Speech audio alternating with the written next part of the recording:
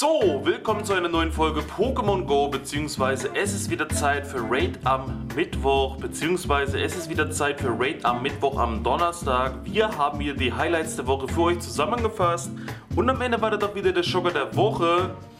Und heute ist nicht nur irgendein Donnerstag, denn der Ditchen hat heute seinen Spendablen für die ganze Zeit, wo er hier rumhaust und wohnt und sonst was, möchte er sich heute bedanken. Das heißt, ich habe nicht so viel Zeit.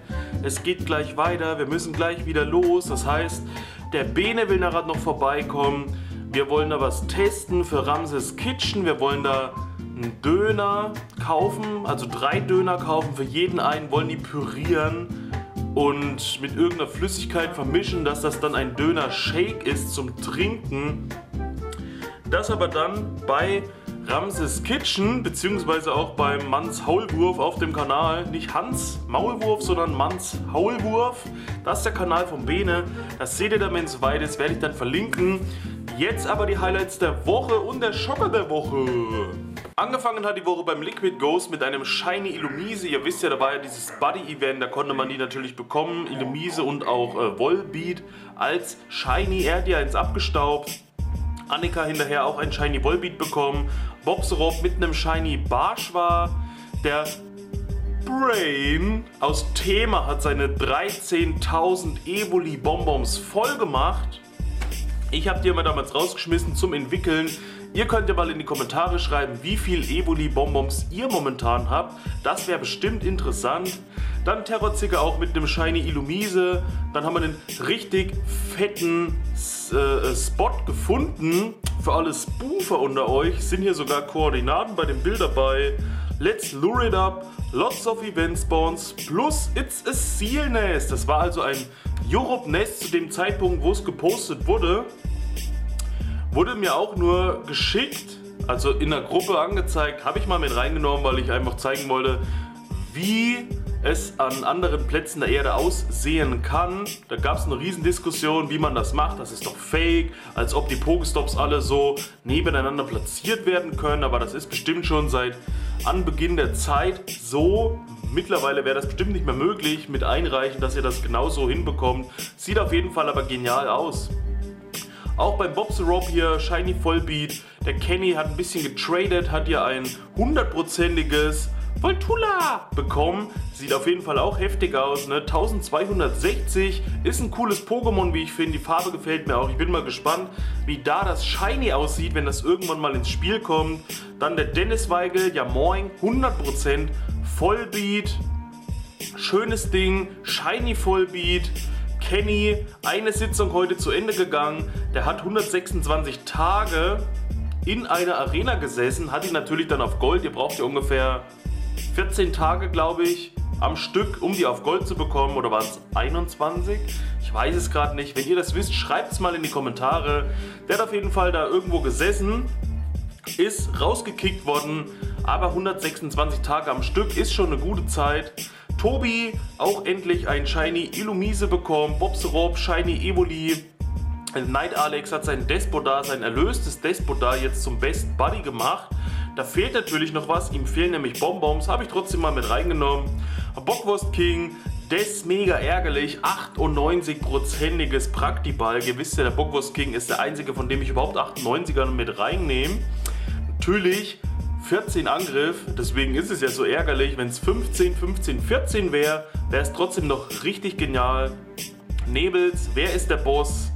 Und die Frage kann ich nicht beantworten, weil Vielleicht ist Farbigel ja auch der Boss, aber er meint bestimmt, dass guck mal da, was so komisch guckt, ne? Guck da! Ah! Wir machen trotzdem einfach weiter. Bockwurst King ja auch mit Fuck Corona.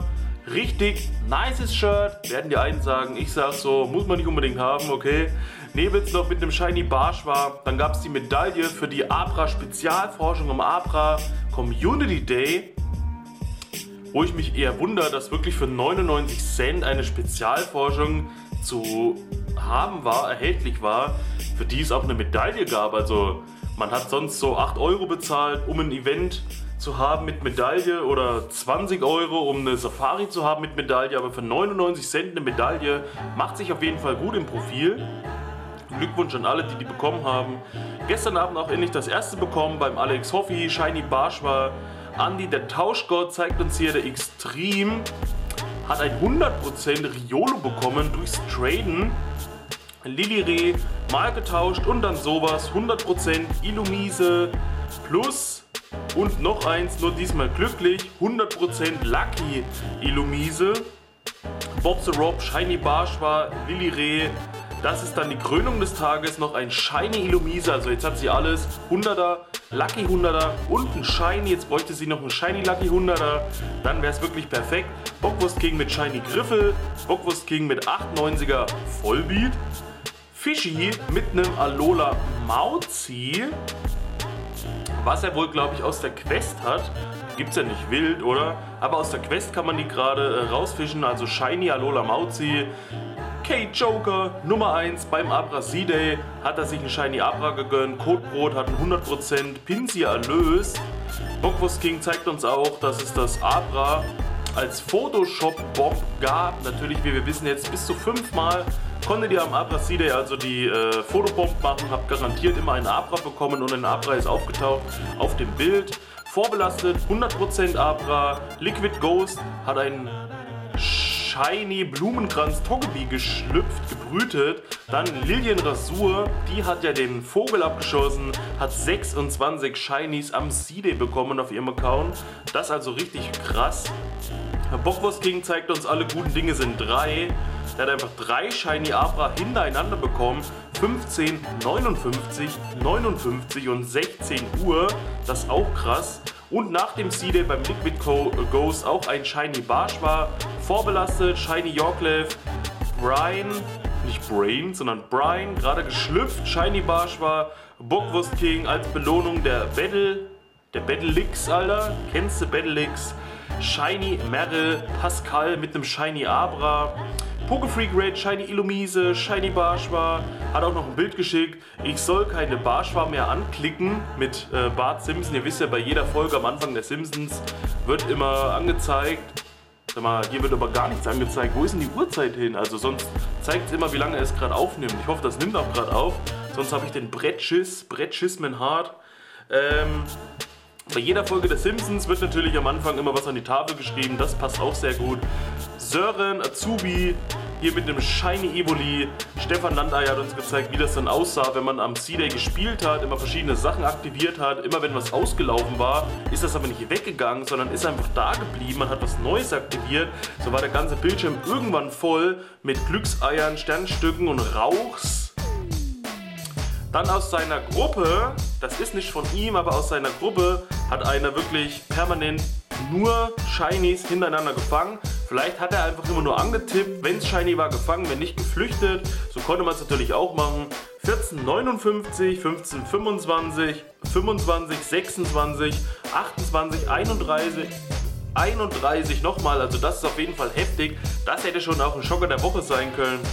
Fischi hier auch, mein Shiny Azumarill, welches mal gebrütet habe, hat das genau dieselbe IV. Oh, ich habe mich bestimmt verlesen, aber egal. Auf jeden Fall Shiny Azumarill, äh, Meryl, so. Sein Shiny Azumarill hat dieselbe IV wie das Meryl, was er jetzt aus der Go Battle League hat. So ist das hier mein. Sehr schön.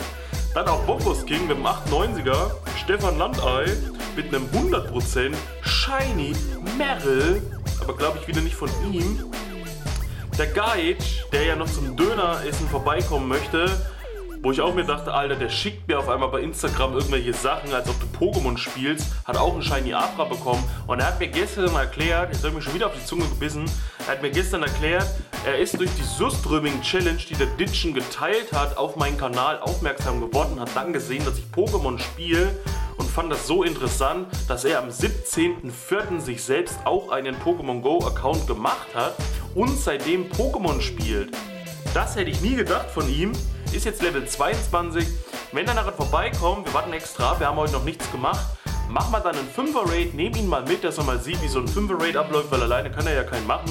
Aber richtig coole Sache, finde ich auf jeden Fall gerade bei einem Tausch bekommen. Beim Bockwurst King noch ein 100er Abra. Benjamin Engel mit einem Shiny Kabuto, was er auch weiterentwickelt hat. Es war mal wieder eins von deinen Budapest. Beste war auch der Shiny-Eintrag.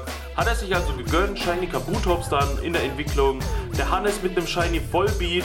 Der Gro mit einem 100% Feu-Riegel, also Igelava, natürlich die Weiterentwicklung.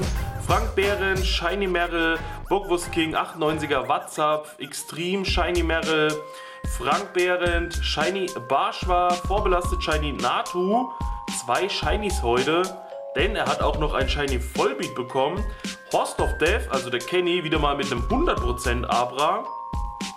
Dann der Kippen 18 hat uns was gezeigt. Der Helsinki Troll hat die eine Million äh, Fänge zusammen gemacht, äh, abgeschlossen. Wie viel Pokémon habt ihr bisher gefangen?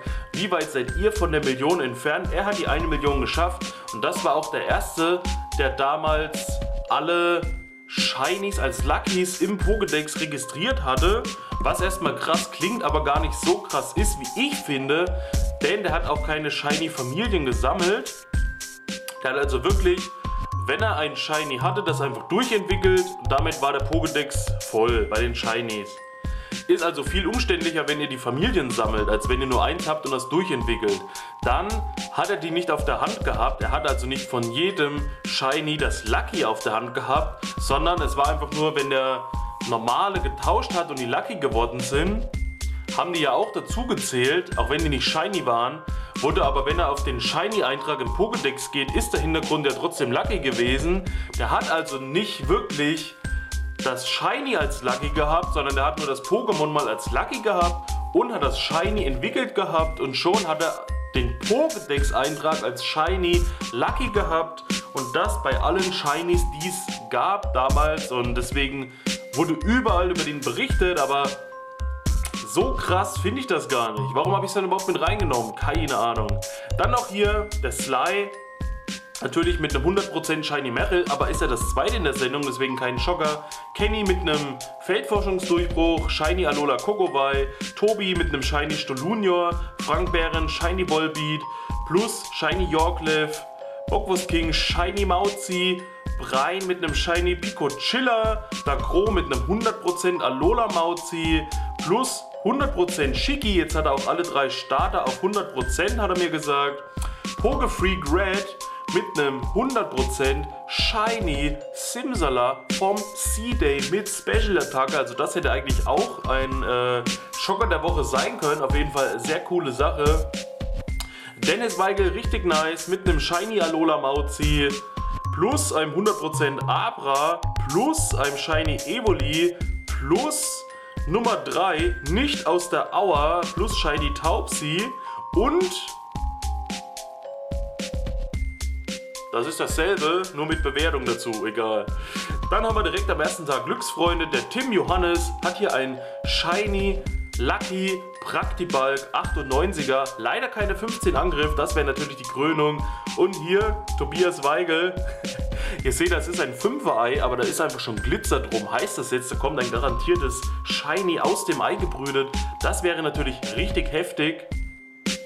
Tobias Weigel auch 100% Illumise, Shiny Sichlor beim Andreas Erdl, plus ein Shiny Volbeat, plus ein 100% Barschwa, plus ein Shiny Illumise, Sören mit einem Shiny Volbeat, Julchen mit einem Shiny Barschwa, einem Shiny Volbeat, einem Shiny Alola Radfratz, einem Shiny Chanera, einem Shiny Barschwa schon wieder, einem Shiny Alola Mauzi, also das hört gar nicht mehr auf, einer blonden Luise, also wieder ein Shiny ähm, Illumise, blonde Luise, Shiny Luise, Shiny Illumise.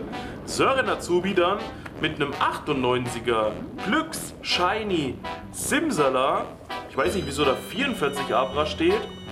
Dann haben wir ein Bild von einem richtig niceen Dude, der hat so eine Frisur wie ich ungefähr, der hat da zwei Blätter an die Wand geklebt, hat sich dann vorgestellt, hat seinen Bauch, also seinen Brustkorb angemalt und sieht jetzt einfach aus wie ein Knopfhänser. Das ist bestimmt das Thumbnail für das Video.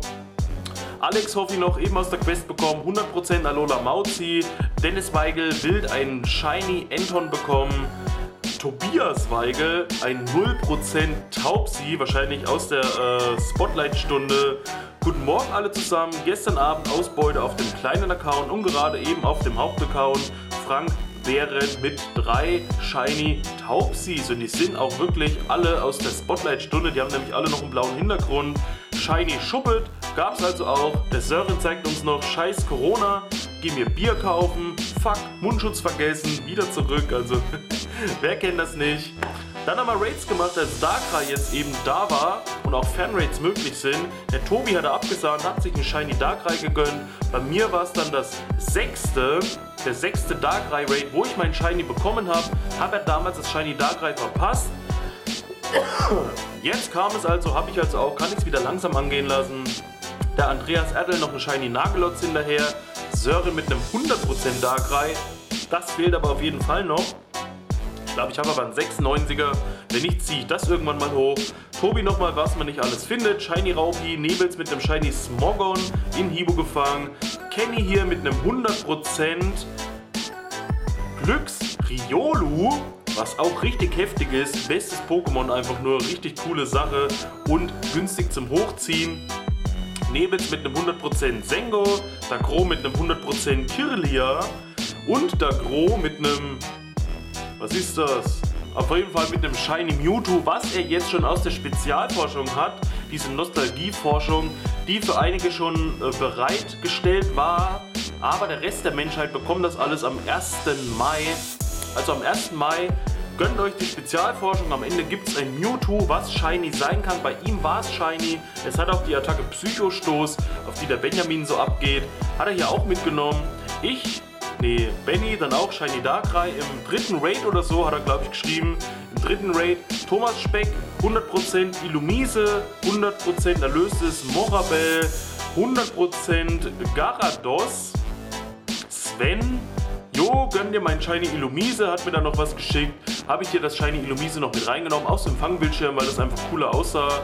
Dann auch der Dragonite mit einem 100% Darkrai, also da werde ich schon neidisch. Das würde ich natürlich auch gern haben. Plus Shiny Ponida, plus Shiny Lapras. Das waren jetzt also die Highlights der Woche und jetzt kommt noch der Schocker der Woche. Und der Schocker der Woche kommt diesmal vom Dragonite. Das ist zwar nicht selbst von ihm, aber aus seiner Gruppe. Wir hatten vorhin ja schon das hundertprozentige Glücks Riolo und das ist das hundertprozentige Shiny Glücks Riolo. Das ist also noch cooler, weil es eben gelb ist, eigentlich selten ist, ein nützliches Pokémon, günstig zum Hochziehen. Was will man bitte schön mehr? 100% Shiny Glücks Riolo auf dein Nacken, Bruder. Das vom Dragonite, beziehungsweise aus seiner Gruppe. Das waren jetzt, glaube ich, auch die äh, Highlights der Woche und der Schocker der Woche. Ihr seht nach der Eskapade letzte Woche jetzt wieder ein normaler Schocker. So muss es gehen. Der Guide kommt auf jeden Fall dann noch. Ich muss noch fix das Video schneiden, dass ich das heute noch rausballer. Abends muss ich dann wieder das NHR Battle bewerten. Wer da Bock hat, kann ja auch mal vorbeischauen auf dem NHR Battle Kanal bei YouTube. Da geht es halt um Battle-Musik, um Rap-Musik, sonst was, wen das interessiert. Ansonsten lade ich jetzt gleich die Raider Mittwoch-Folge hoch und nachher gibt es noch den Döner-Shake. Und ein und das andere Bier und Pfeffi und Kräuterlikör und ich drehe gleich durch. Auf jeden Fall, habt eine gute Woche. Viel Spaß euch natürlich noch. Wir sehen uns beim nächsten Mal. Bis dahin wieder. Peace out, Vorhaut. Euer Ramses.